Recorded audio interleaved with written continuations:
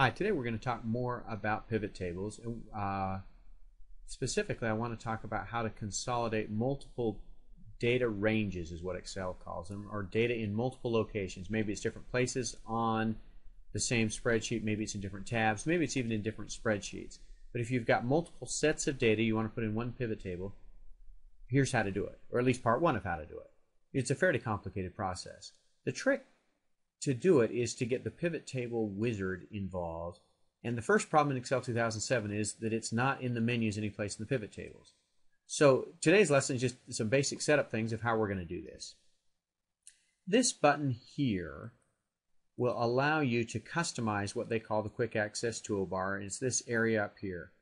And if you say, hey, you know, that you can decide some basic things you want to put in that quick access toolbar. This is how I got undo and redo in my toolbar and you can minimize the, the ribbon or show this toolbar below the ribbon. What we want to do is more commands.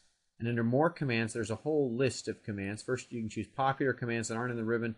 We're going to go to all commands, and we're going to go down through here and look for the P's. And what we want is pivot table and pivot chart wizard. And if you highlight it and click add, that's how I got pivot table and pivot chart wizard up in my menu. So here's the wizard. I want to show you a little bit about what the data looks like and how I formatted it before I go in.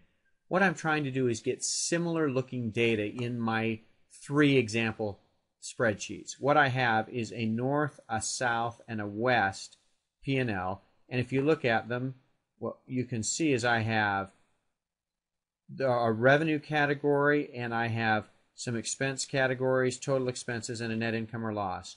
You'll notice that I don't have any spaces, any extra rows between the revenue and all of these expenses.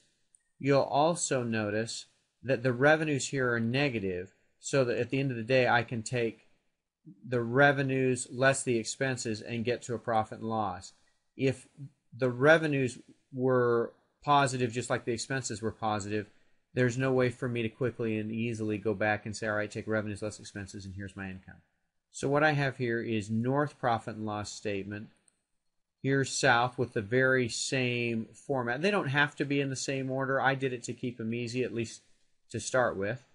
And then monthly amounts. And here's west. You'll also notice if we scroll over a little bit, I've got a total that basically just sums all of these categories. I've also got um,